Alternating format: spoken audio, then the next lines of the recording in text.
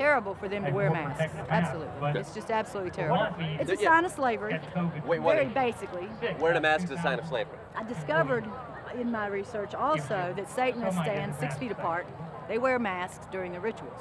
Who does? Satanists, Satanists, six. their rituals. That's six, six. feet apart, wear masks. Mm-hmm. I don't know. Is it coincidence? I don't know. Satanism is, well, we're, we're at war with Satan, and How are we doing?